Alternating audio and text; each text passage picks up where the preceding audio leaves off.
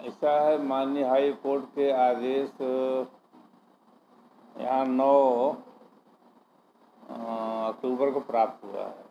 या नौ अक्टूबर का ही होगा। नौ अक्टूबर को आदेश हुआ है कि फिर से ओपन हो गया। जो लोग निजी पर्सन हैं, जिनको की आवश्यकता है सुरक्षा के लिए तो वो लोग आवेदन कर सकते हैं।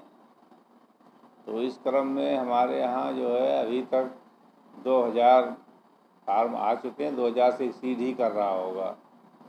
आवेदन की संख्या जो है, इस प्रकार से काफ़ी आवेदक अप्लाई कर रहे हैं।